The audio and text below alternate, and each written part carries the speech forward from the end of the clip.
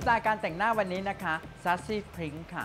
ชมพูหวานซ่อนเปรี้ยวค่ะ เราก็เตรียมผิวหน้าให้ดูเรียบเนียนด้วยรองพื้น Bio Perfect ก่อนนะคะ ให้ทั่วหน้าค่ะ แล้วก็เพิ่มความนวลเนียนให้กับรูปหน้าด้วยแป้ง Bio Perfect Organic Powder Foundation นะคะ ตัวนี้รับรองเลยค่ะ ผิวคุณจะดูนวลเนียนสุขภาพดีอมชมพูขึ้นมาทันทีค่ะ สีสัน makeup วันนี้นะคะ เราเน้นดวงตาที่ดูคมเข้ม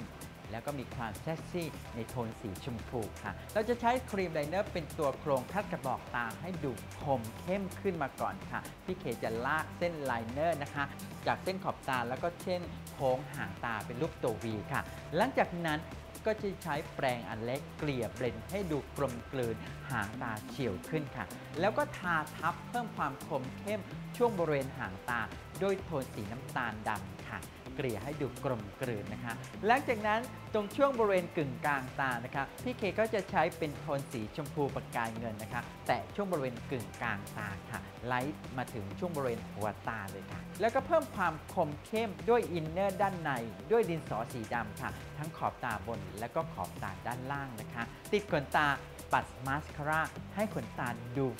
นั้นหนายาวๆเลยค่ะ ส่วนลูกคิ้วก็ปัดเซตลูกคิ้วขึ้นนะคะ แล้วใช้ดินสอลากโครงให้ลูกคิ้วนั้นดูคมชัดค่ะสีสันพวงแก้ม พี่เคเลือกใช้เป็นโทนสีชมพูเข้มนะคะ ปัดไล่ขึ้นลงช่วงบริเวณพวงแก้มค่ะ ส่วนสีลิปสติกก็เลือกใช้สีชมพูสดๆ เปรี้ยวๆไปเลยค่ะ ให้ใบหน้าดูโดดเด่น Sassy Pink ค่ะ ชมพูรสเชิดเฉียวเกินหน้าใครๆค่ะ